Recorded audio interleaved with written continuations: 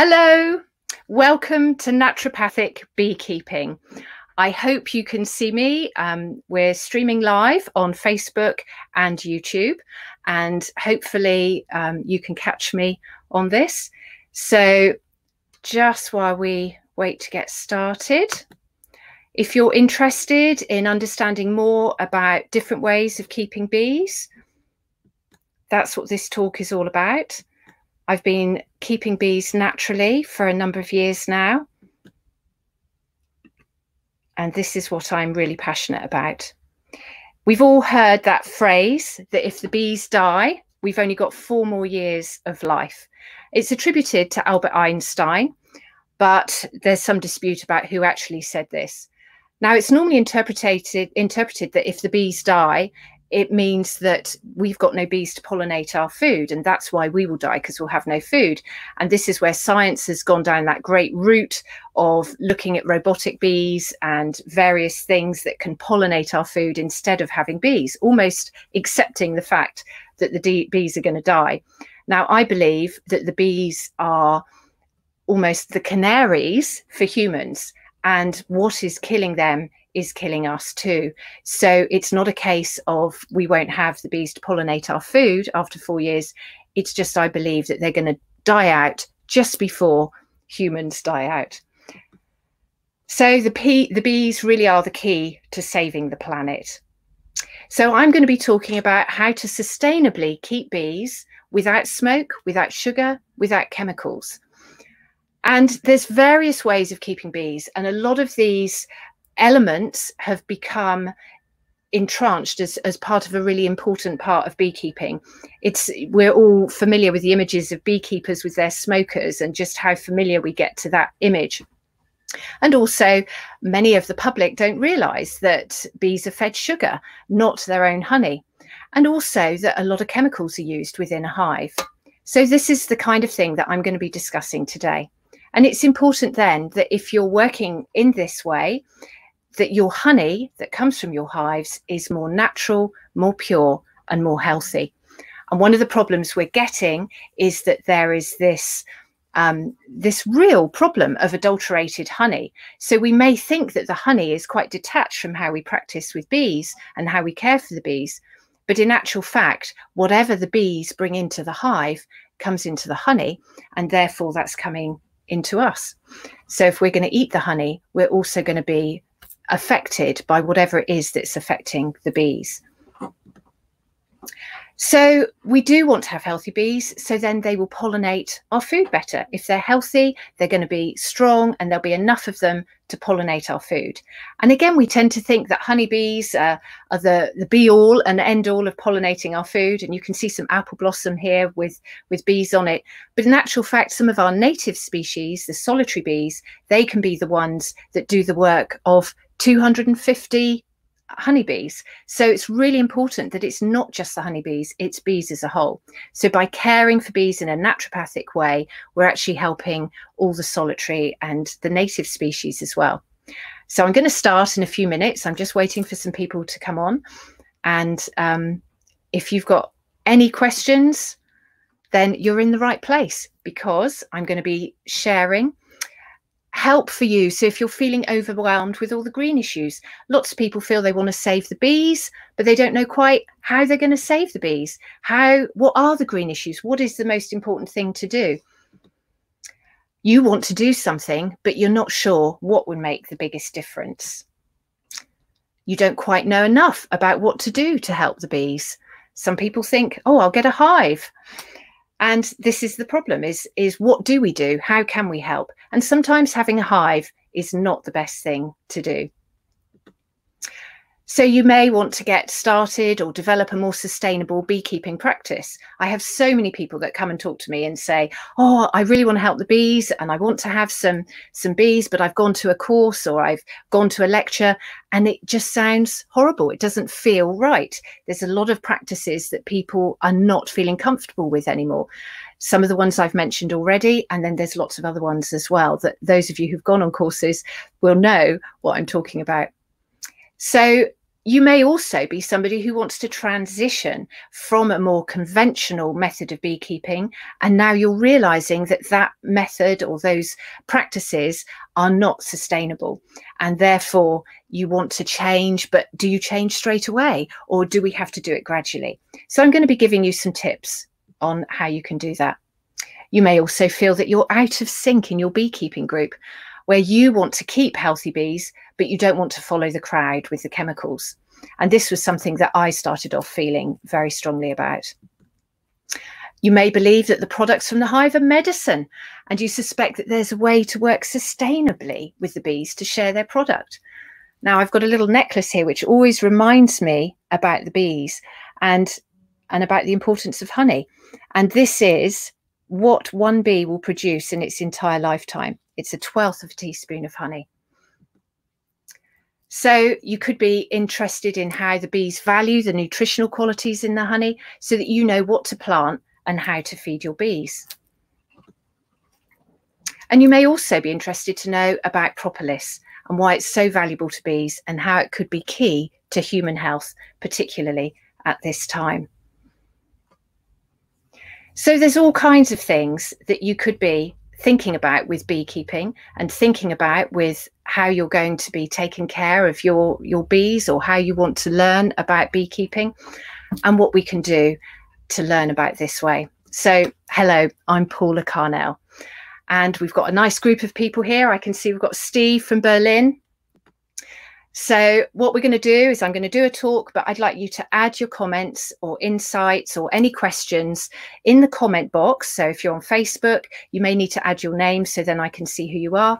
And again on YouTube. So just put the comments in and then at the end I will do a question and answers session. So this is me. I'm Paula Carnell, and this is me with my my bee van and this is how I work now. I actually um, travel around the world, working with all kinds of organizations, with individuals, beekeepers, honey producers, and I'm really on a mission to find out what it is that's actually affecting the bees and what's what's helping the bees. And this is my bee team. So it's not all my bee team. I've got Kerry as well, who you'll see a bit later on. But together we work um, with our clients and we work in a naturopathic way. And one of the beekeepers, Joe on the left there, he's been keeping bees for 40 years and he's written many books on treatment free beekeeping. So that means not using chemicals inside the hive. So we've all learned a lot from Joe and his wisdom and experience are what really helped to inspire me to to really find my own way and and decide on just how to explain the results that we're seeing and how we're helping to save the bees. So you may be asking, what exactly is naturopathic beekeeping? You know, naturopathy, it's an odd word. It's not something that everybody is familiar with. And this is me catching a swarm in a basket that I'd, I'd made, a straw skep, skep basket. So you may also want to know what are the main principles? So that's what I'm going to be talking about today. So here's a beautiful swarm. And the naturopathic perspective is all about the individual's immunity. So it's what we can do to protect ourselves and make ourselves best able to remain healthy no matter what is going on around us and in our environment. Now, I'm studying to be a medical herbalist and one of the the modules was naturopathy. And what i found amazing was it just seemed to tie in exactly with what i intuitively believed about health. I've always felt that the body wants to heal itself. It wants to be well. And we we have sort of evolved into this whole system where there's um, there's this belief that everything is out to get you, everything's going to attack us. And yet we all know that if we cut our hands, we cut our skins, we don't have to do anything. It will actually heal itself. So our bodies are incredible things. And during my studies, I learned about um, Louis Pasteur and also Claude Béchamp.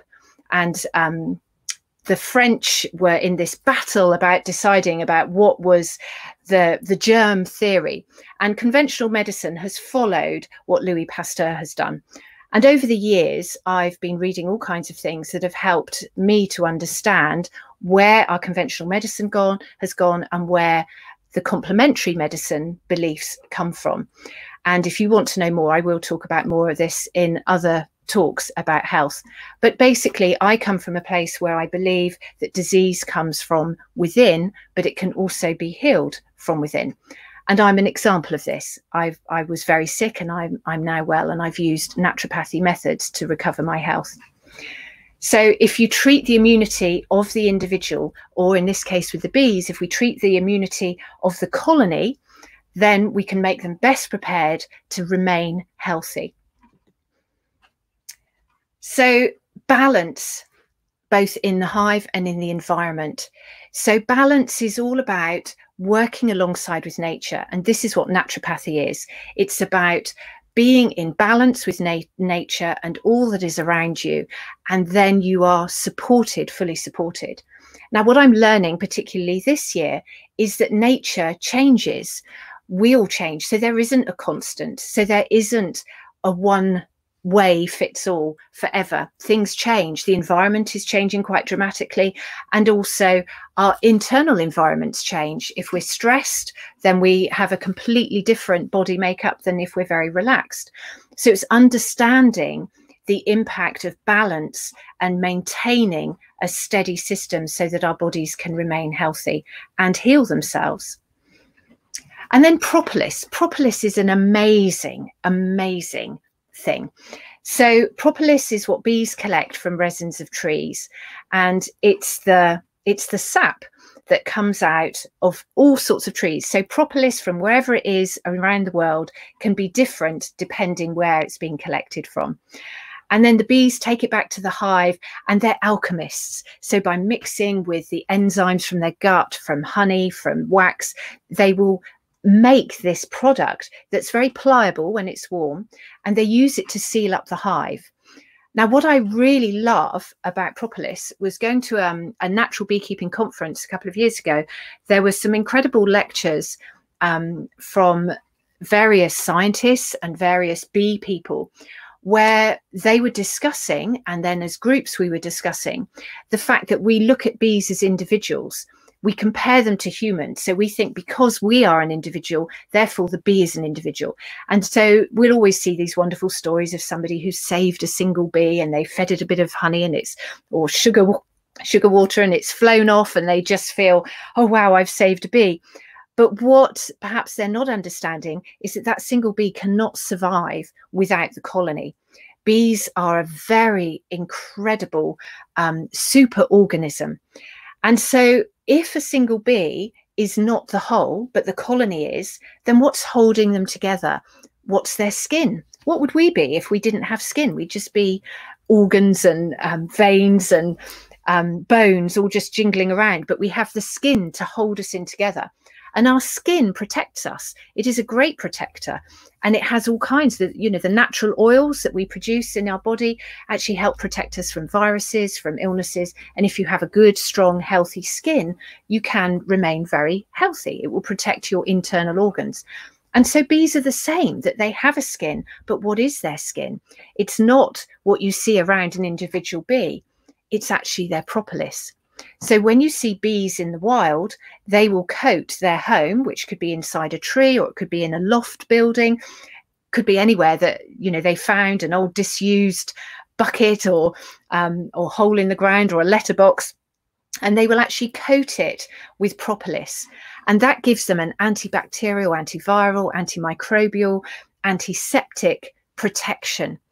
And this has been seen with um, various various reports and research projects where um, in Minnesota they found that uh, a beehive, a bee colony, had a mouse that had gone in there during the winter months to keep warm, and the bees didn't want the mice in their the mouse in their hive, but the mouse wasn't going to go out through the little entrance. It has squished its way through, and the bees stung the mouse, but they couldn't get the body out. So what they did was they completely embalmed it with propolis, and that meant that none of the the the waste material or the the degrading of this dead animal was going to affect the environment of the hive. So that's how powerful propolis is. And what they've also found now is that they can have colonies that are lined with propolis. And if they inject even some of the most dangerous and most contagious diseases that bees can suffer from these days, the bees still do not succumb to the disease if they have a healthy amount of propolis around their hive. So propolis really is key, not just for us to extract and make into tinctures, it's really important for the bees. And I'm going to talk a bit more about propolis in a bit.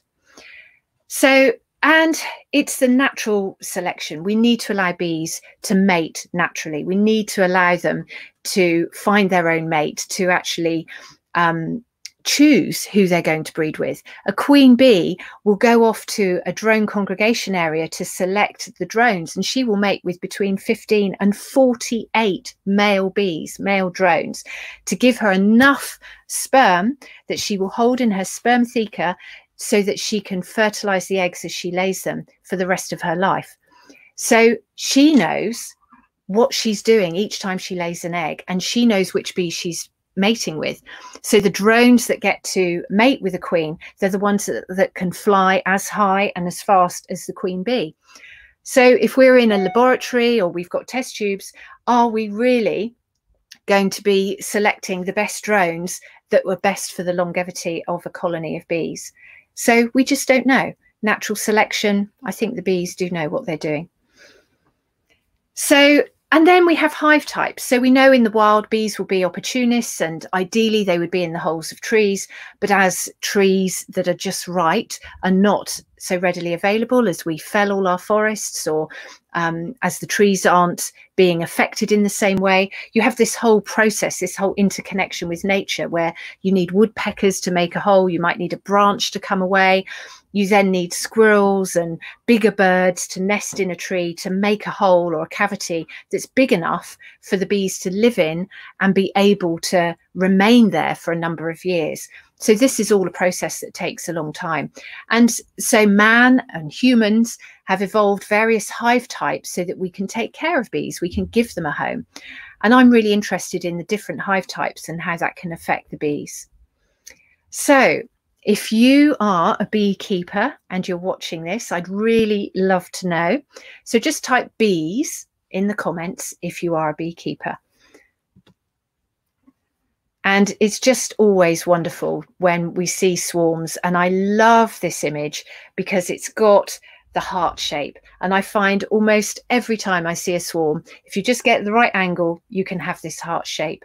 So there's something inherently loving about bees and I just feel they're trying to give us messages. I just love the thought that bees are trying to inform us, to let us know that what is making them sick can be affecting us as well. So brilliant, brilliant. It's good to see some beekeepers here. And I know I've met beekeepers all around the world. So it's really nice to see um, beekeepers from around the world joining me today, but also we're we're a great connection. And i we learn so much from each other. What we think we're in isolation or what's happening with our bees and quite often we find that there's other things happening around the world that are similar or we can learn from them. Some places the bees are healthy and some places they aren't. And that's been very much part of my quest is trying to find out where the bees are healthy and what different people are doing to keep their bees healthy so great to see some of you here. So if you're new, if you're a new beekeeper, so if bees have just swarmed into your garden, into your house, or if you perhaps bought a package of bees this year, um, I'd really like to know. So just type new in there. And it's really interesting to know how different people come to have bees. And I'm meeting more and more people now who just feel so drawn to be working with bees, to be handling bees, and to be living with bees. So it seems quite a natural instinct to want to keep the bees. So this was me when I first kept bees. This was my first hive. And at the time, I was mainly bed and wheelchair bound with Ehlers-Danlos syndrome. And I had nagged my husband because I felt this calling to have bees. And the hive I wanted was a WBC because I was an artist, always a romantic, and this was the kind of hive that I loved. I had actually seen a hive that I've since learned was called a Stewarton hive, which is um, hexagonal in shape. And that was the one I really wanted, but I couldn't find them anywhere and I didn't know what it was called and I just couldn't find images. So um, I went for the WBC hive and this is still a hive that I use regularly. I have um, you know, for various clients, I recommend these hives because they have lots of uses. And what they're good for with our climate in the UK is they've got this double wall. So conventional beekeepers will will say, oh, you don't want a WBC because it's a lot of hassle, it's heavy, you've got to lift the lifts off, and it's all very difficult. But actually, I find not only does it add the give them extra insulation, but also if you're a new beekeeper, it's a lot less um, disturbing for the bees if you want to lift the lid off and just have a little peek inside especially if you put an extra lift on you've got the crown board over the main body of the bees and you can just tell from sneaking up the lid you can see how they are. You can tell from the smells of the hive how the colony are doing. And so this is a really good beginner's hive so i really like like these. But if you're a new beginner um, a new beekeeper i'd love to know what kind of hive you've got and just write it in the comments. So, because I was ill and I was keeping bees, but my main way of keeping bees was just having the hive in the garden, and I had a mentor, and once a week I would pull myself out of bed and and just try and pretend to be healthy and learn everything I could about bees.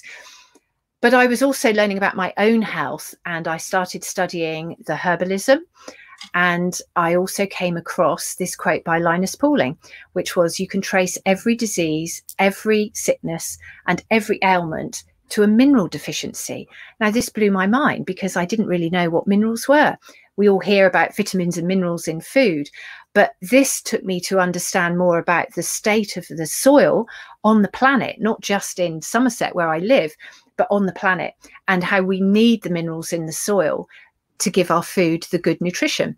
So there was a great um, story, well, not a story, um, a slide I saw once in a in a presentation, which showed a plate of salad, and it said, you know, this plate of salad in 1947 would have given you all the nutrition and, and minerals and vitamins that you would have needed and it was a really healthy plate of salad. And then the question was, how many plates of salad would you need to have the same nutrition now, nowadays? And it was 48 plates of the same salad. So it looks the same, but because the soil is so deficient, and in some parts of the world, or most, you know, a lot of parts of the world, it's 75% deficient, but there are areas where it's 99% deficient. The soil has been so exploited with intensive farming that there is no nutrition left in it. And so that got me to thinking, well, if we're not getting it in our food, then how on earth can the bees be getting it in the nectar? because if it's not in the soil, it's not coming up into the plants, and the plants who feed from the nectar and the pollen, they can't be getting the nutritional benefits they need. And what I find really interesting now is the more that I read research projects about bees, there's a lot more information now about the effects of poor nutrition on bees and about the gut biome and this whole complex thing of the stomachs that we've not been aware of for so many years. And now even conventional medicine is starting to acknowledge the importance of nutrition, but with the subtle elements, the, the minerals and the vitamins and the, the quality of those. That is the key thing.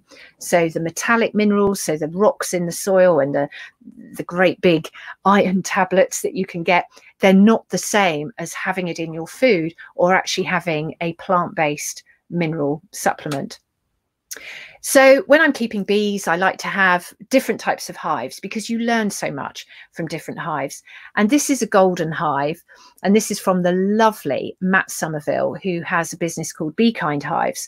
And he makes log hives and he makes um, freedom hives as well, which I also use. And this is a box hive, which I particularly like because it's working on the the golden mean so the shape that bees will will form in the wild. So if they're in the hollow of a tree they're not actually in flat boxes they're actually in quite deep crevices. And so bees like to make the wax comb quite long and, and deep. And we'll see a lot of top bar hives which are often associated with natural beekeeping. So either a Warré hive or the the horizontal log hives and top bar hives which allow the bees to make their wax comb from a single strip of wood, from a top bar. Now, one of the problems with that for anybody who's kept bees in one of these hives is if you were to take some of the honey. And what happens all the time is you think, oh, I'll just lift this top bar. But the bees use their magical propolis, which is a fabulous glue that keeps everything in place and secures any nooks and crannies and crevices. And then what happens is the wood is just stuck. And so by the time you've sort of pushed and pulled and tugged and you lift it off, the wax remains in the hive. So it's not that practical. So what Matt has done is he designed this hive using the top bar principle, but instead of a top bar, you have a frame, but it's one big deep frame. So when you open it up, you can see the tops of all these frames he also has a brilliant idea, which is one of those simple ideas that you think, why doesn't everybody do this? Instead of having plastic spacers or the Hoffman frames, um, he actually has nails that come out from the frames, both at the top and the bottom. So it keeps an even spacing between each frame. Genius, but absolutely fabulous. And then you have this Hessian cloth that goes over the top. And you can see the stripes there. You can see those brown stripes and that's actually propolis. So if you look at that what they've done is any of the draft that could be coming through the gaps in the frames they've blocked it up with propolis. So they really are incredible. And this is something that i also find interesting with propolis is that quite often bees have been bred to not produce propolis because it makes the access to the hive so difficult for beekeepers so this is another thing that um, you know I'm quite passionate about is by allowing bees to breed naturally, they adapt to their environment and therefore they can produce propolis if they need to. And this is one of the frames. So the bees will put the honey at the furthest point away from the entrance. So these hives have four entrances at the front, which we've noticed the bees will block up with propolis and open again. So this propolis is such a versatile product. So, you know, they can make screens with it and it means they can protect themselves from predators. Now, bees like to fly into the hive and go straight to the brood so that they're not wasting any time. So they can bring the pollen and the nectar and, you know, everything straight in to the brood, ready to feed them. And the honey is less um, you know they don't need that speed so they will go further away. But also they keep the honey further away from the entrances as joe has always informed us because it's their treasure. And so it keeps it away from predators. So should a wasp who's perhaps trying to get into the hive to steal the the nectar or the honey um, they've actually got to go through quite a lot of corridors of angry bees before they get to the honey before they get to the treasure. So it makes it easier for bees to protect their their treasure. And it is their treasure because the bees need the honey not just to feed themselves and their larvae, they actually need it to build wax. So it takes eight kilos of honey to make one kilo of wax. Now, in these frames, these are all natural comb. There's no um, printed or, or pressed foundation. This is all wild comb. So that takes a lot of honey which is one of the um, the problems with natural beekeeping is that the bees need even more honey so that they can make their own comb. But wax comb holds all the pollutants that are coming because the wax comb is made from the honey. The quality of the honey is really important.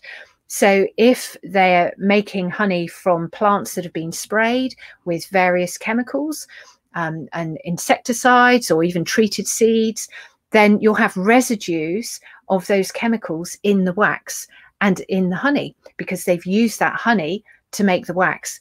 And there's actually been tests on wax and they found residues of chemicals that were banned 10 years previously which raises all kinds of questions. Are these chemicals still being used? Are they still in the soil? Does it take that long for them to be processed through the soil and go through plants? Or are people still using them illegally? So there's all kinds of questions and great life information that we can learn just from bees. So here's a sun hive, and the sun hive is an amazing piece of kit. And this was designed by Günther Mancke. And again, it's based on the golden mean, and he studied bees. And bees traditionally have been kept in woven baskets in straw skeps And straw skeps are really good, again, for the propolis because it's a rough interior that the bees can attach propolis to. So they can then make their, their home and coat it with a skin. So the sun hive, I was always very passionate about a sun hive and I, I made one and was really excited. Took nearly three, well, over three days. And um, it was a course run by the Natural Beekeeping Trust and it actually consists of two baskets. So you have an upper basket and a lower basket. And to comply with a lot of now legal requirements that you need to be able to inspect bees inside a hive, we have these curved wooden frames. So instead of the long frame that you saw in Matt's hives, this is more like a top bar, but it's actually curved. So the bees can attach wax to that curve and then it will hang down into the basket. Now, I've had swarms move into sun hives, but I've not managed to keep a swarm in there. I tend to find that after a week or two weeks, they move out again. And it could be because the early swarms are very large and perhaps they just feel that this hive isn't big enough. It could be because I haven't already got any wax there and it's just a bit too much work. But what I have started doing this year is thinking about the entrances.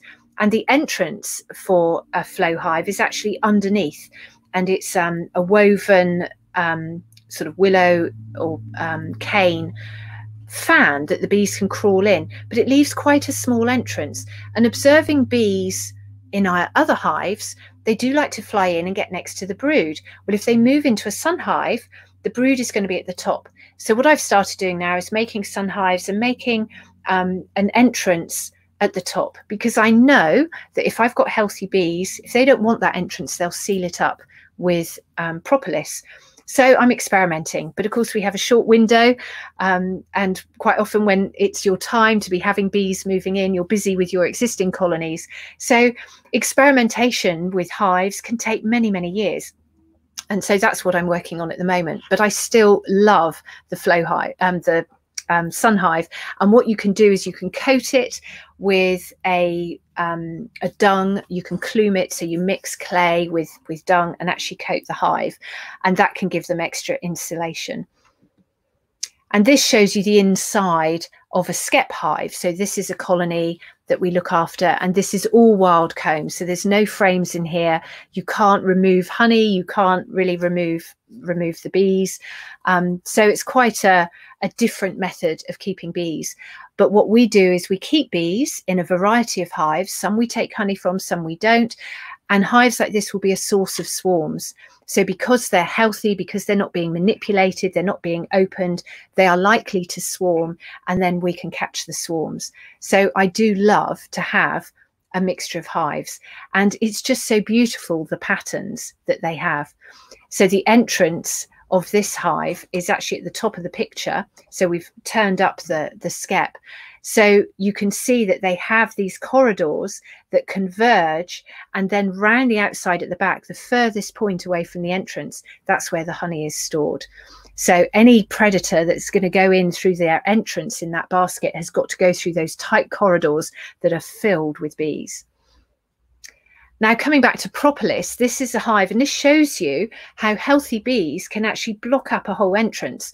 Now, if you buy um, beehives, you get these wooden blocks that you can stuff in the entrance so you can narrow or widen an entrance throughout the year. But what I find really interesting is, is these bees actually in a flow hive, and this was in South Africa, they um, and I recently learned this is Apis capensis, and I did read an article where they were saying that Apis capensis don't produce propolis. Well, they do. Here they are making propolis, and you can see this is through the winter months in South Africa, which actually are can be reasonably cold. And there's these tiny little holes, and that's what they would use for entrance. And then I've visited in the springtime when they're much busier and then you can see they've just broken down or removed some of the propolis so that they've got a wider entrance. And this is a skep that's been clumed. And here you can see the propolis. So that's the dark brown that's actually on the, um, there we go. You can see that dark brown and that's propolis. So they filled in any little drafty gaps and that's an entrance. And this here is a block of shungite. And I've been using shungite for uh, about two and a half years now with my colonies. And um, I, of course, I couldn't find a picture with bees on the shungite, and normally the shungite is inside the hive. But I put it on the entrance of this one so that the bees could find the entrance easily. It's sort of a marker, but also so we could observe them. Um, and what I find is that the bees will rest and crawl over shungite in hives. And shungite raises the whole question about the environment and about EMF um, pollution. So trying to understand the complexities of frequency and radiation and how that can be affecting bees or how it can even be affecting humans, it is very complex and it's quite difficult to simplify. But basically, a lot of the waves that we use for our communication, so for our telephones and our Wi Fi, is actually a chaotic form of electricity. And in nature, we have a natural um, magnetic field. We have fields, we all know of whales and salmon migrating across magnetic fields around the world. And bees are the same. And male bees, the drones, they actually have magnetite in their abdomens, which draws them like a magnet straight to the points where they need to go to mate with a queen. So there's all this intricacy about connection and about communication and between flowers and bees that's really, really important. And I've noticed, and I've spoken to many beekeeper and people around the world, and there's a lot of people noticing that bees are becoming disorientated.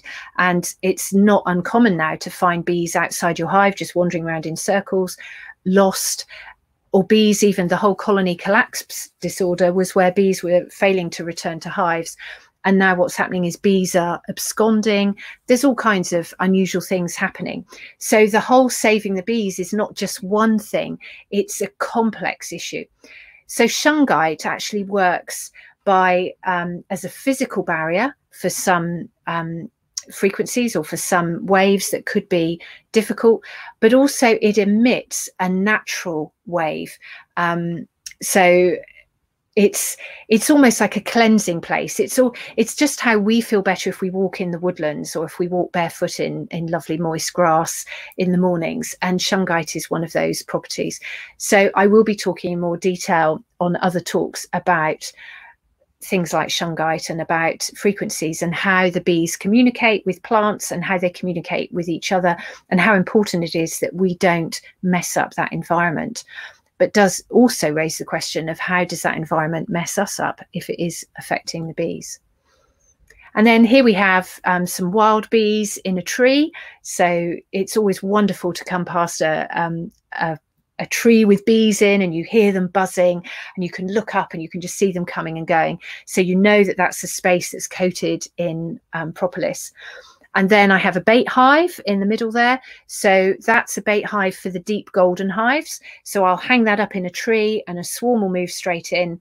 And then when it's filled, so after about a month when the bees have just filled it up with wax and, and the queen has laid lots of eggs and they've all hatched so you've got lots of bees in there then i'll take the frames out and put them into a bigger hive.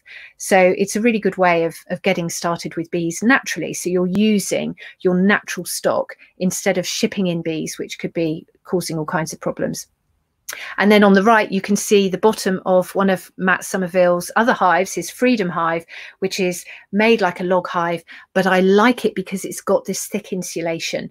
So there's two layers and it's filled in with um, sawdust. But the bees have to make all their own wax comb for the whole um, for the whole of that shape. So it can take um, one colony could get about two thirds of the way through in the first year and it's really important about when they move in and how they you know how the summer progresses whether or not they can collect enough nectar to make enough honey to make enough wax for the queen to lay enough eggs and then for them to make still more wax that they've got room for storing what they need to get them through the winter. So it's understanding the natural pattern of bees to understand how we can best help them. And looking at that freedom hive now I say don't feed sugar, and I don't feed sugar because I when I was first taught beekeeping, I was really quite horrified that we would take all the honey off and then replace it with sugar. And to recover my own personal health, I knew how toxic sugar was on my in my body, and I knew that it wasn't doing me any good and it it really is. It's more addictive than some of the the harshest drugs. So sugar is not good. So why would we want to give sugar to wild creatures? And I've stuck with this, and I I don't believe in in feeding sugar to any kind of wild animals or even pets. And um, yet this year we had a swarm move into one of these freedom hives just last week, and I've noticed some interesting behavior through this year. So I've been thinking, well, how can we best support them?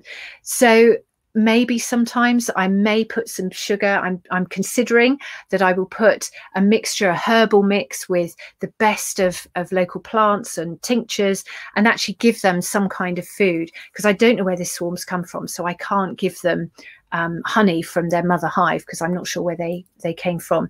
So if they then have some food that will enable them to make enough comb that they can then spend the rest of the summer collecting nectar to fill in that comb, then they, it gives them a better chance of survival.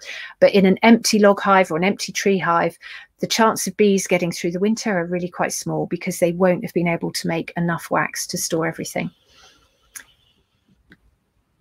So, and this is inside, so you can see in a couple of months, that's how much um, wax they can produce. So that's lovely, clean, fresh wax.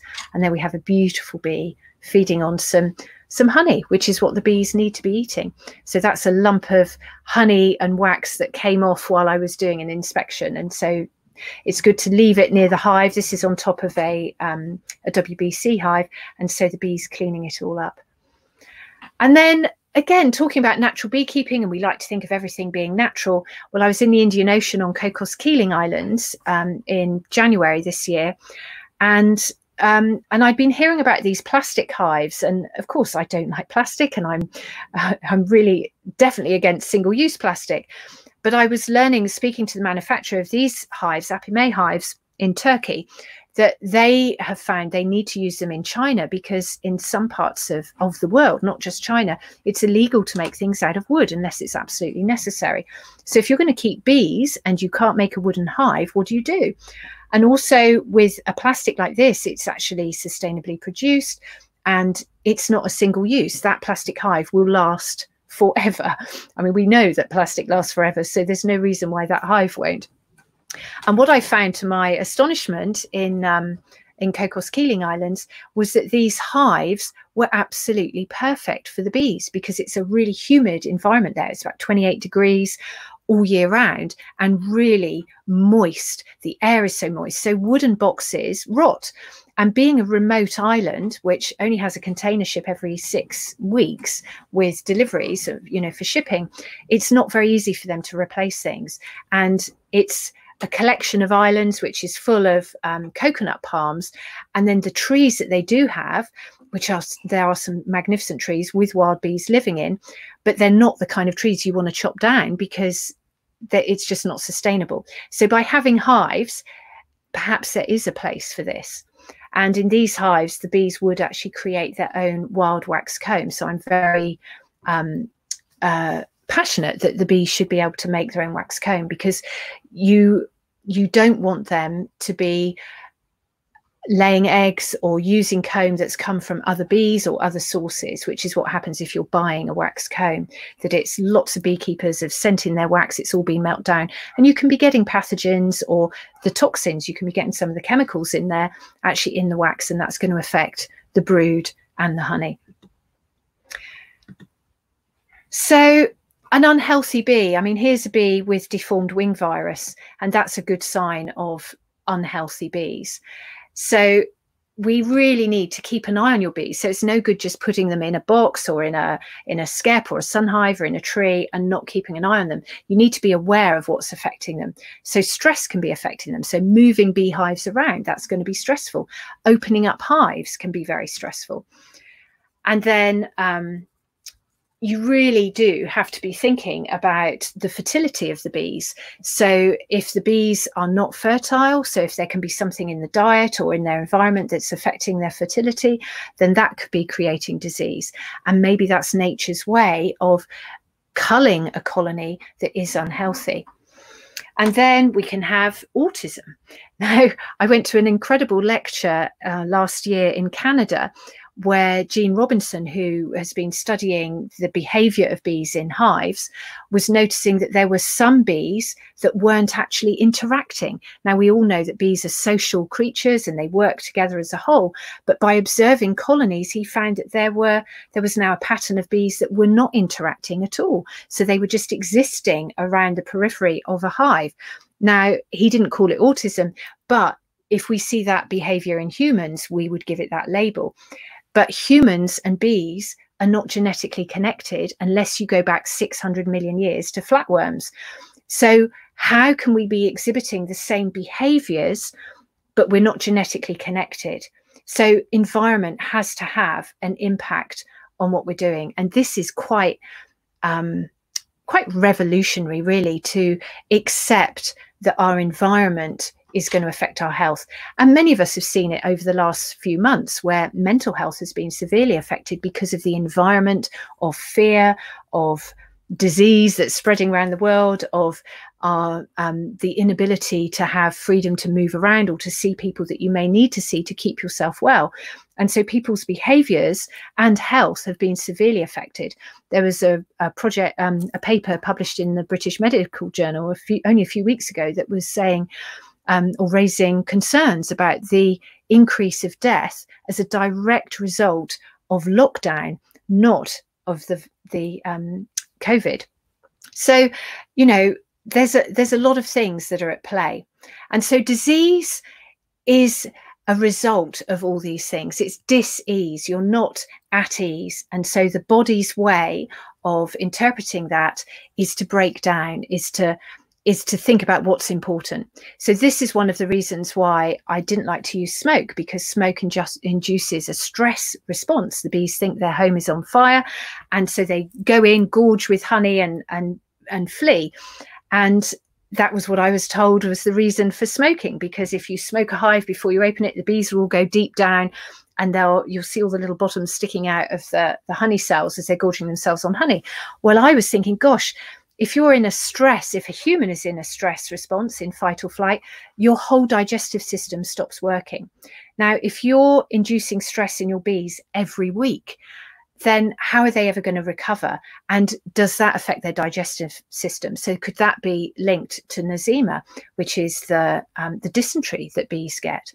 So it's looking at the whole environment and the whole procedure of what could be making bees ill. So here is the beloved varroa mite, which has caused a lot of problems for beekeeping all around the world. This little mite has spread around the world, supposedly transferred from Apis cerana, which is an Asian honeybee, and it feeds off the fat bodies in the larvae of bees. So this is a reason why swarming is really important so that the bees can have a break from the larvae. And so by suppressing swarming, sometimes you can be encouraging disease to stay. And I'm not going to go into great depth about varroa mite, but I will talk about pseudoscorpions because 50 years ago, pseudoscorpions were found in our beehives because they live in old straw and um, sort of garden waste rotting material. And a pseudo scorpion is um, a, a, kind of beetle but it actually feeds on varroa mites.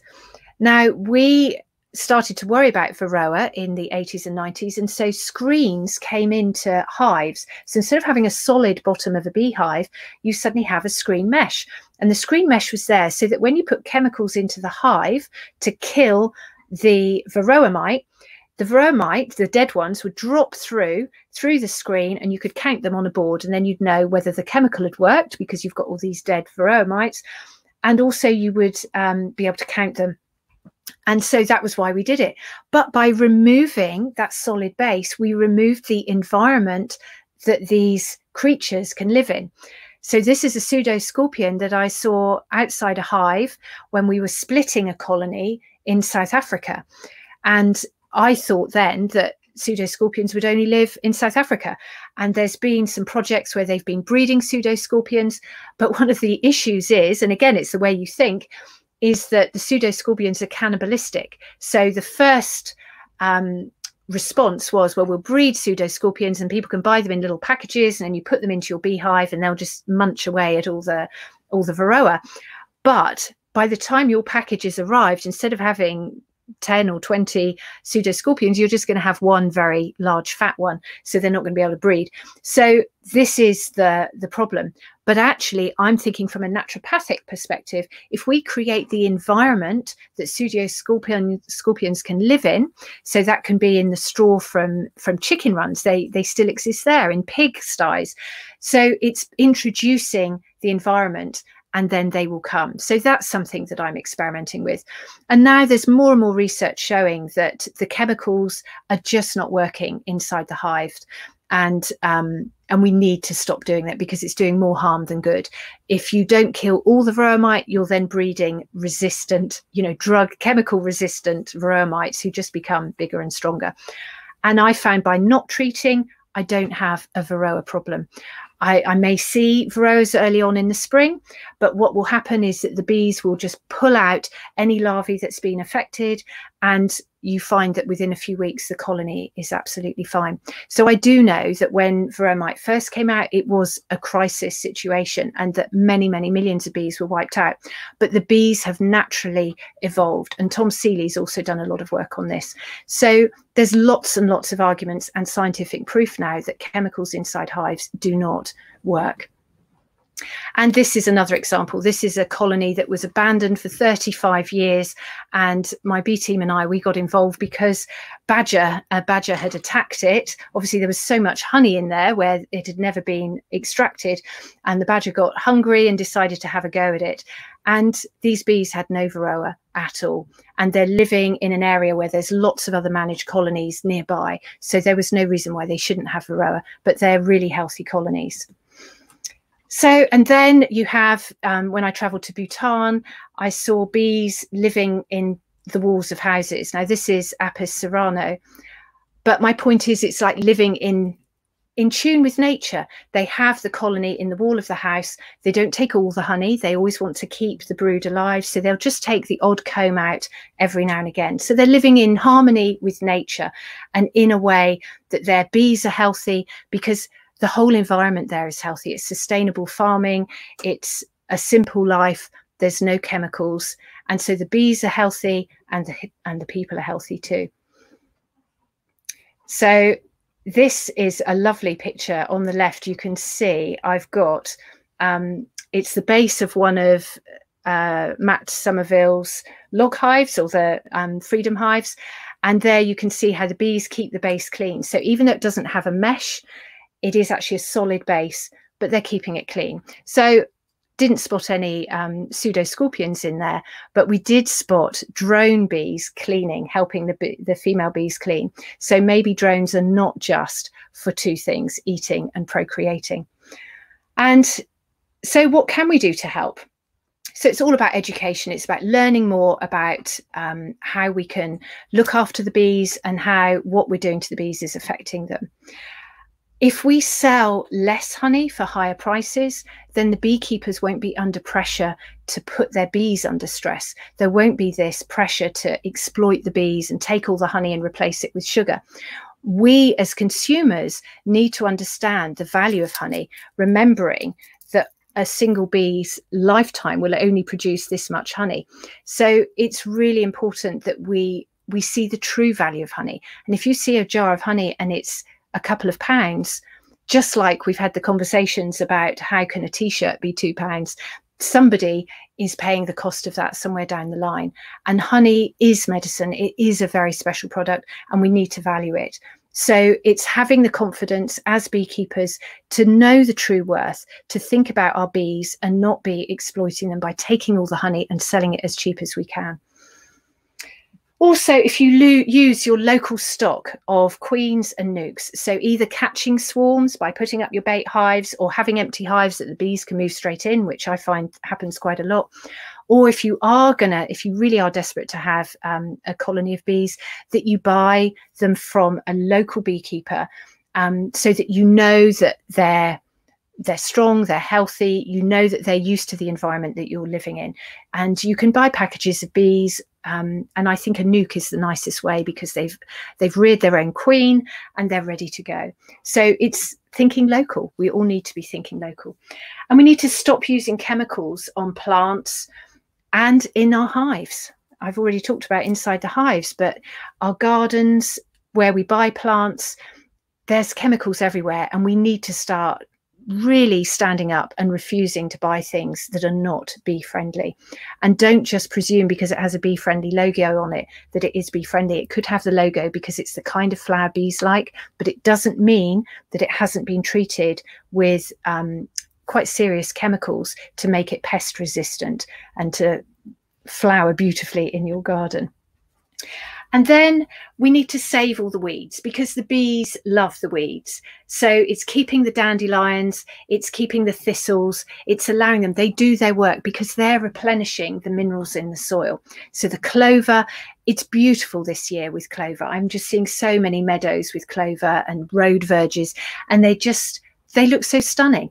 Just this carpet of white clover. Absolutely wonderful. So and it's remembering that the bees do know best. They know what they need to do. Those bees that had been left for 35 years, they were doing absolutely fine. They didn't need us until a badger had ripped the side away. And so we were able to, to put them into a, a nice new home and make them safe again. But if we listen to the bees and learn from the bees, as Steve, who's on this call, will know, it's so important. And we're learning those of us who work closely with bees we're learning from them all the time. Every year is different every colony is different and we need to be open to learning from them at this really important time for change. And then here's some bees that i give the mineral powder that i use. I take a mineral powder to ensure that i'm getting enough minerals. And what i do for my colonies is i also share some of the powder and they take it up so if you're interested in that, then just send me um, a message or I can send the link. But there's a website, carnellsminerals.com, and that's where I can sell minerals to you if you want it for your bees or for your own health.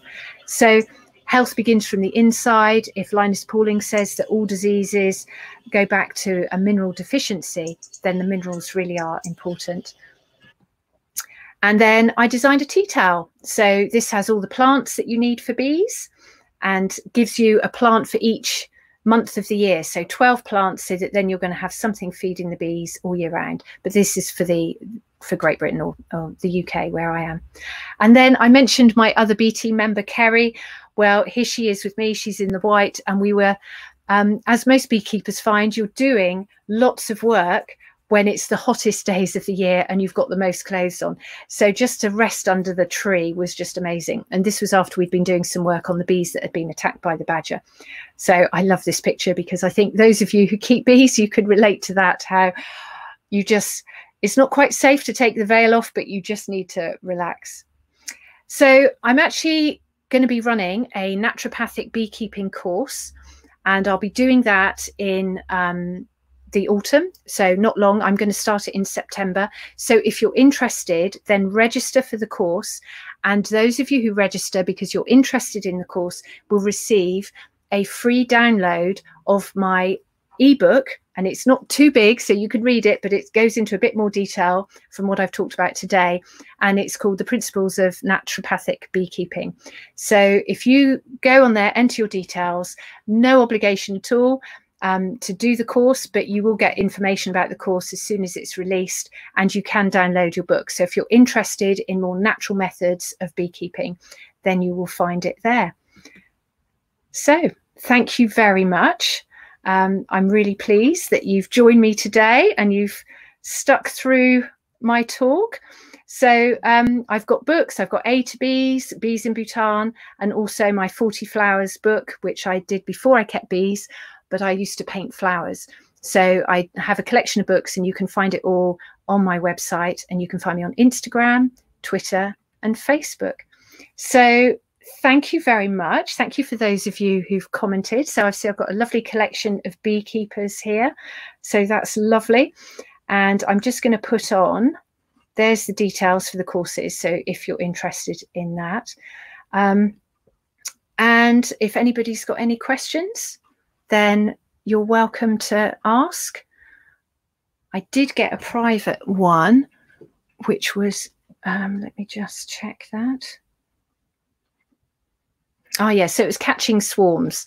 I'm often asked about catching swarms, and that's again working with with nature and working with the way that bees communicate so what i do is i i dowse for areas i observe where the bees like to swarm normally and um, and i will put bait hives up but it's all about frequency and vibration and um, so i will talk about that at another talk but um, that's what i do so any more information, just send me a message or you can read the book. So it's free for you today. So you just have to go to the courses.paulacarnell.com um, or send me a message if you're if you're stuck.